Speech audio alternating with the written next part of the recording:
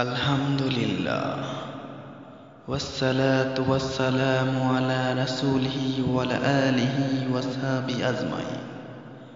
أما بعد أعوذ بالله من الشيطان الرجيم. بسم الله الرحمن الرحيم. الحكم التقاصر حتى زرتم المقابر. আল্লাহ তাআলা মানুষকে লক্ষ্য করে বলতেছেন আল্লাহ তাকাসুর। প্রচুর্যের প্রতিযোগিতা তোমাদের ভুলিয়ে রেখেছে। যদিও তুমি কবরের সম্মুখীন হও।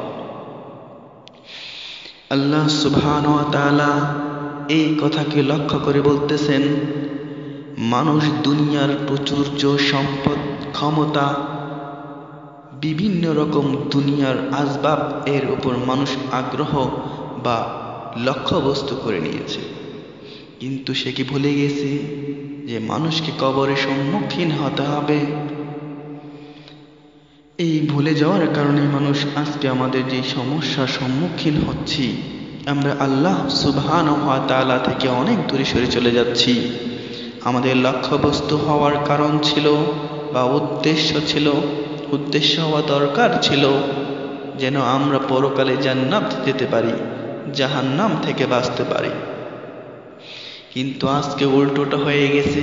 আমাদের মানুষের আকাঙ্ক্ষা, উদ্দেশ্য, দুনিয়ার আসবাবের উপর চলে গেছে। কীভাবে সম্পদ অন্বেষণ করা যায়? আরও সম্পদ আরও সম্পদ আরও সম্পদ। এই অবস্থায়, অভাবগ্রস্ত অবস্থায় মানুষ মৃত্যুবরণ করে। কারও ক্ষমতা থাকলে সে আরও ক্ষমতা অন্বেষণ করে। যদি কারও সম্পদ থাকে, আরও সম্পদ অন্বেষণ করে যার সৌন্দর্য থাকে, সে আরও সৌন্দর্য হওয়ার জন্য চেষ্টা করে। এরকম বিভিন্ন ধাপগুলো মানুষ দুনিয়াতে আকাঙ্ক্ষা করতে থাকে। কিন্তু তার লক্ষ্যবস্তু সে, বিচ্ছিন্ন হয়ে সে অন্য লক্ষ্যবস্তুতে চলে গেছে। আল্লাহ সুবাহ তালা আশা করেন, বান্দার লক্ষ্যবস্তু হবে আল্লাহ তালার সন্তুষ্টি। সে যেন জাহান্নাম থেকে বেঁচে জান্নাতের দিকে ধাবিত হতে পারে।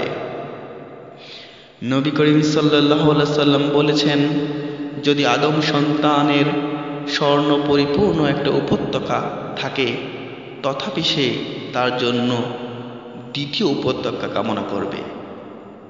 তার মধ্যে যদি দ্বিতীয় উপত্যকা দেওয়া হয়, সে আরও একটা উপত্যকা উপত্যকা সে কামনা করবে। যতক্ষণ না সে কবর পর্যন্ত মাটি তার পেট ভরে, এর আগ পর্যন্ত সে দুনিয়াতে কামনা বাসনার উপর লিপ্ত থাকবে। আমাদের খেয়াল রাখতে হবে, আমাদের উদ্দেশ্য যেন দুনিয়ার কোনো আসবাব বা দুনিয়ার কোনো বস্তু বিষয়ের উপর না হয়। আমরা যেন প্রত্যেকটা ধাপের মধ্যে, প্রত্যেকটা কাজ কর্মের মধ্যে যেন আল্লাহ সুবহান তালা সন্তুষ্টি অর্জন করতে পারি।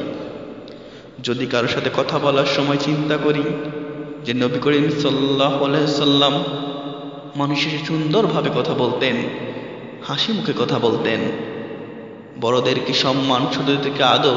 এগুলো আমাদের শিক্ষা দিয়েছেন। আমরা যেন আমাদের আদর্শ এবং আমাদের আমল আমলের সলেহাত যেন আমরা আল্লাহকে খুশি করার জন্য করতে পারি। আর এটার জন্য উদ্দেশ্য থাকবে পরকালের জান্নাত। প্রত্যেকটা মানুষে উচিত হবে এই দুনিয়াতে কীভাবে ভালো কাজ করা যায়, কোনভাবে মানুষের কল্যাণ কল্যাণকর কাজ করা যায়। আল্লাহ সুবাহান তালা যেন সন্তুষ্টি হাসিল করা যায়। দুনিয়ার আসবাব থেকে আমাদের আল্লাহর কাছে আশ্রয় চাইতে হবে, বেশি বেশি তওবা করতে হবে। আল্লাহ সুবহান ও তালা যেন আমাদের দুনিয়ার আসবাব থেকে আল্লাহ তালার জান্নাতের দিকে আমাদের উদ্দেশ্য করে দেন। হে আল্লাহ সুবহান ও তাআলা